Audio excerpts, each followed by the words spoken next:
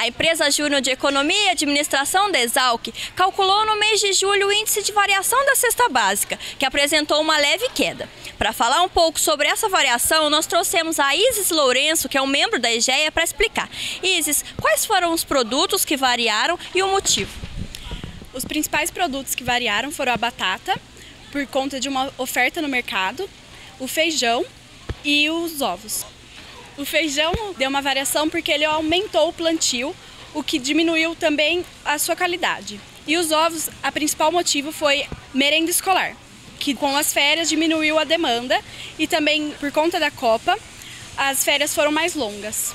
E na categoria limpeza doméstica e higiene pessoal, quais foram os itens que mais variaram?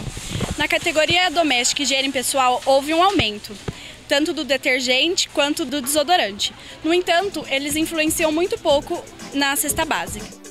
Obrigada, Isis. Obrigada a você também pela sua companhia e nós nos vemos no mês que vem. Tchau!